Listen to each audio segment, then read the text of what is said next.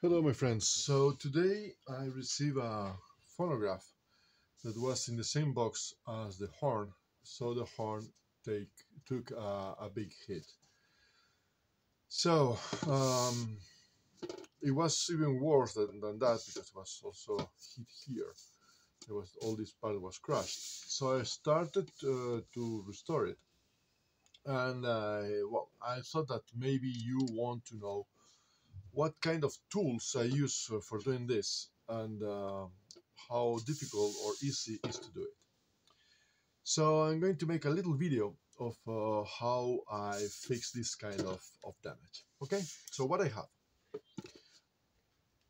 I have uh, this uh, little anvil, aluminium anvil that is very, very smooth. It has a, a, a concave um, uh, surface.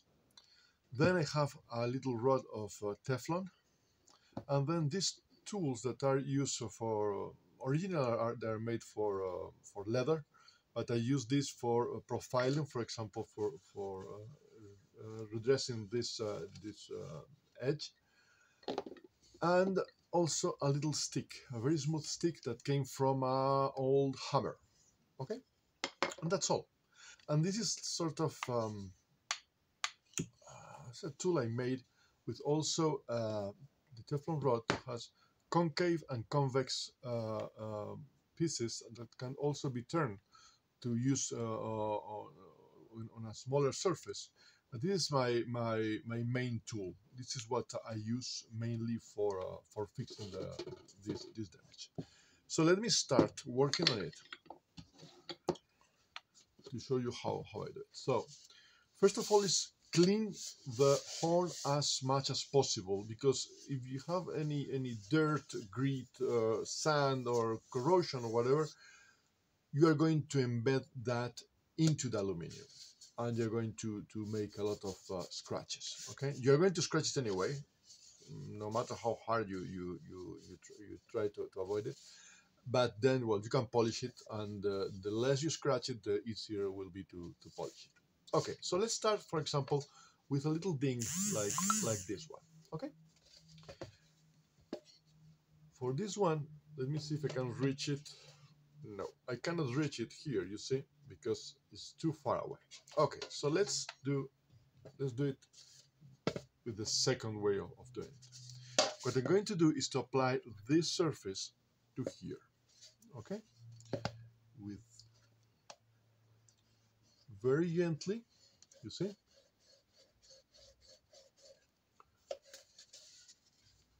It's already much better. And I can push a little bit more. And then you you, you have to, to to start feeling the uh, the tools and the metal. Okay for example for removing the little ridge that I have here what I'm going to use is a little ridge in this uh, wood stick. And you can I don't know if you, with the video you can see it but if you watch closely you see that I'm just working on the ridge and you can see the little the little protrusion that makes the tool. So you can guide it and you can move it across the ridge okay. As always when you push the metal you are going to deform it. And the surrounding uh, uh, area is, is also going to push a little bit. So you can then push it back with the Teflon. Okay? So by working it you arrive to a much better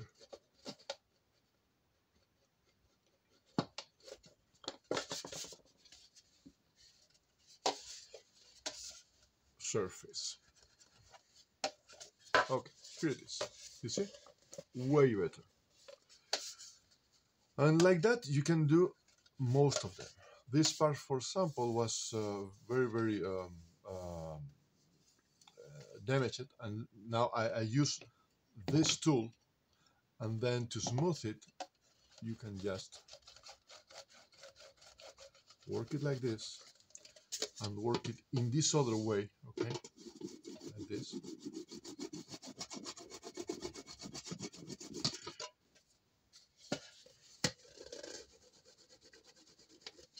For example, here I have a little ridge. Let's work it with the tool. Like uh, this. Uh,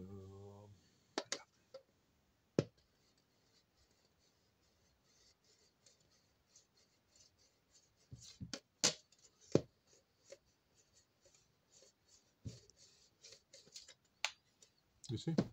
It just disappears. Okay, another little spot here.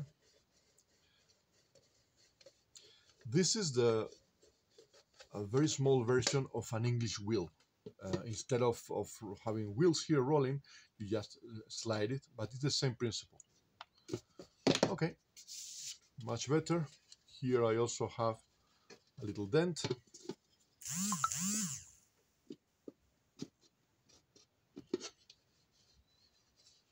Almost there.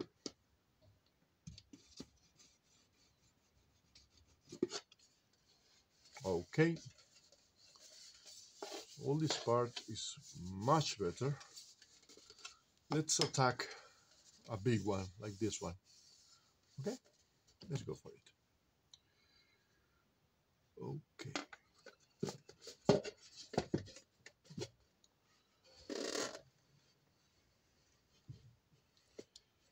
You have to be very patient and, ne and never rush it. Little by little. Because if you rush it, you will overstretch the, the metal and it will expand and it will never come back. And then you have also to be very gentle to, to don't allow the metal to work harder.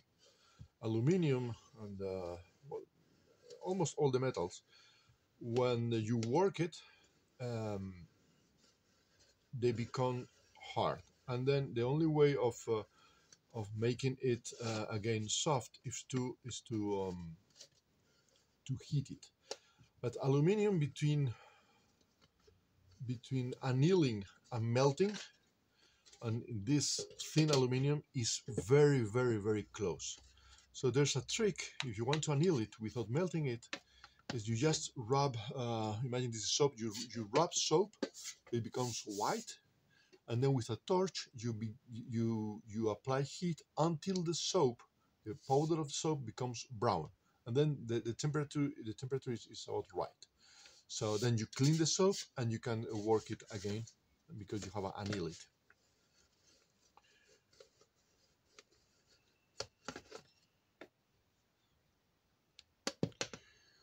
okay so as you can see we are working the worst part of it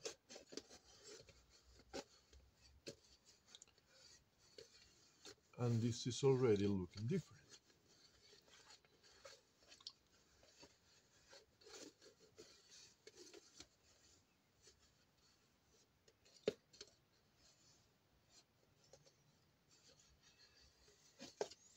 You can see it's much better. Let's work on this. As before with the Teflon rod.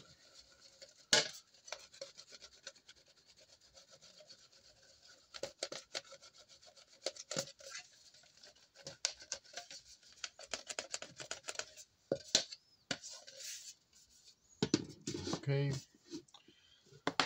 Here we have a little problem here. Let's try to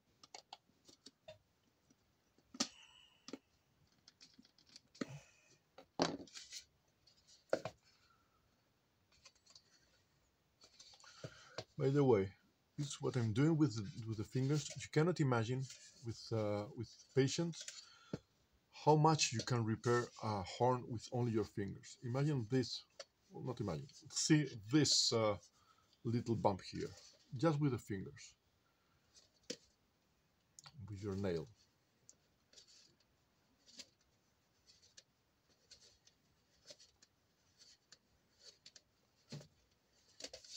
Okay okay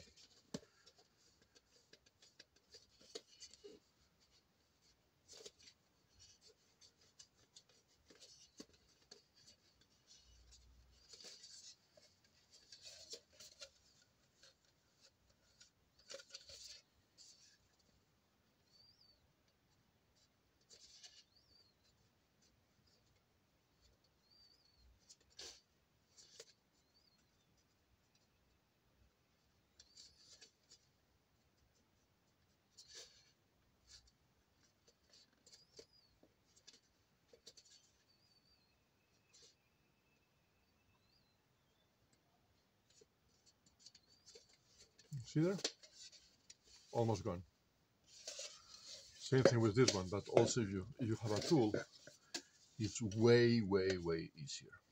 Just with a Teflon rod or with a wood stick, soft wood stick, you can work it with a little bit of patience and you end up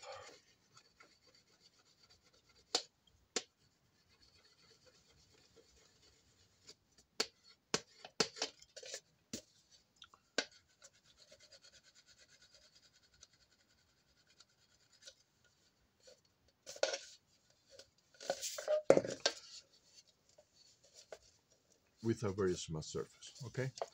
And what happens? When you fix a, a dent you start seeing another ones. For example this one. You see this lip is is uh, is bent.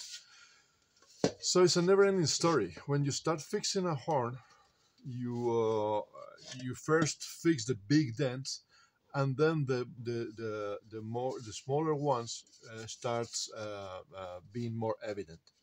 So you can spend a full afternoon um, repairing a horn, and uh, it's uh, it's almost a never-ending story, but it's very very uh, um, rewarding um,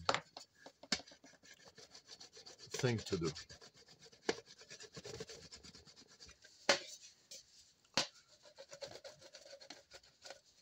Okay, so you get the idea.